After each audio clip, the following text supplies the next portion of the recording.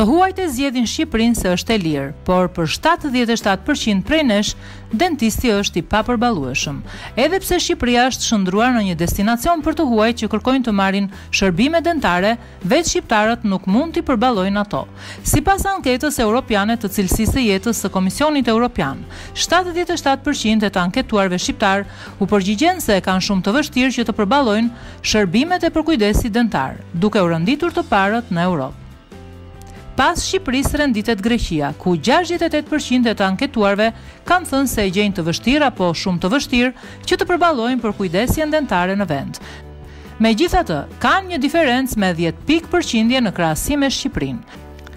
Krahasuar me vendet e tjera kandidate për anëtarësim në BE, Shqipëria renditet e fundit, ndërsa Maqedonia dhe Turqia kanë një nivel më të ulët se mesatarja e BE-së, ku përkatësisht tridhjetë dhe njëzet e nëntë përqind e të anketuarve janë përgjigjur se e kanë të vështirë të përballojnë përkujdesin dentar.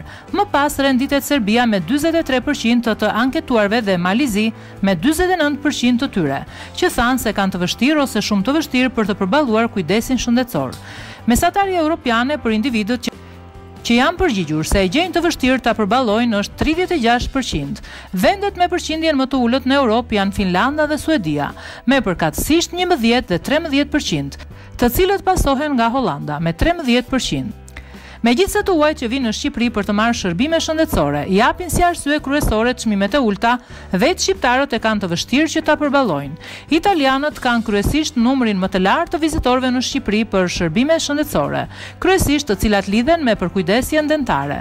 Megjithatë vetëm dyzet e katër për qind e të anketuarve në krahasim me shtatëdhjetë e shtatë për qind në Shqipëri kanë thënë se kanë të vështirë ose shumë të vështirë që ta përballojnë kujdesin dentar. Në Shqipëri, është dhjetë herë më e lirë se në Itali për të vënë një dhëmb, tetëdhjetë euro në krahasim me rreth tetëqind euro. Por, ndërsa çmimet në Shqipëri janë të përballueshme për italianët, ato janë të papërballueshme për vetë shqiptarët.